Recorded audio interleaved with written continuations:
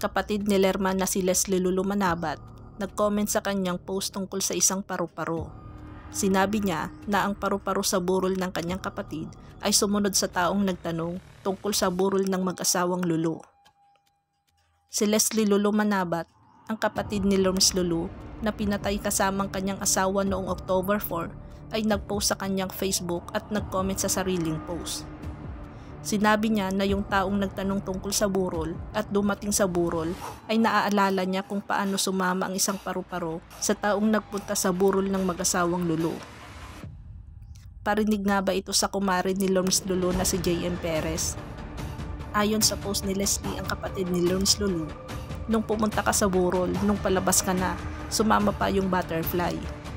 Di nga ako nag-follow back sa'yo kasi ang bigat ng pakiramdam ko kahit noon pa na nakita kita. Pero dahil di ako yung Marcy mo, hinayaan ko lang. Ngayon totoo talaga yung instinct ko na pag mabigat yung pakiramdam mo sa tao, nasa loob ang kulo. Madalas nangyayari yung kutob ko.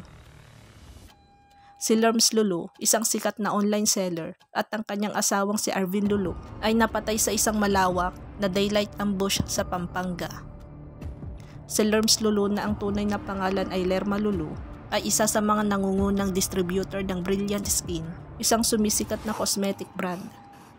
Sa ulat ng Rappler na binanggit ng mga otoridad ng pulisya, sakay ng kanilang sasakyan ang mga biktima nang mangyari ang insidente. Maraming netizens na nagpahayag ng pagkabigla sa nangyari, nakiramay sa pamilya ng mga biktima at humihingi din ng hustisya para sa kanilang hindi napapanahong pagkamatay. Walang konsensya bumawi ng buhay na hindi sa kanya. Pinagkaitan niyo ang bata na ngayong nangungulila na sa murang edad. Di siya patatahimikin ng konsensya niya. Habang buhay niya dadalhin ang bigat ng konsensya niya hanggang mamatay na rin siya sa stress. Walang baho na hindi mangangamoy, walang kaluluwa, walang awa. Sana naisip man lang nila ang batang maiiwan.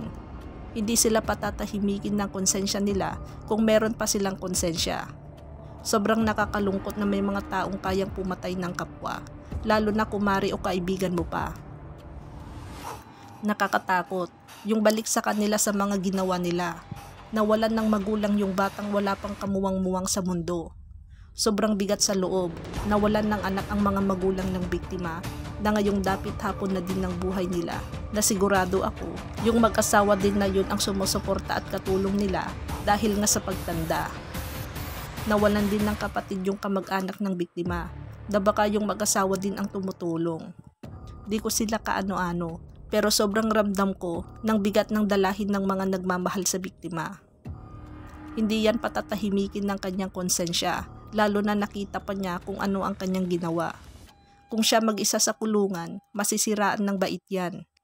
Konsensya na ang magpaparusa sa kanya. Totoo yan pag mabigat sa pakiramdam parang alam mo na hindi siya totoong tao. Nasa loob ang kulo. Kaya siya sinundan ng butterfly, parang itinuturo siya. Sign na yun na siya ang kriminal.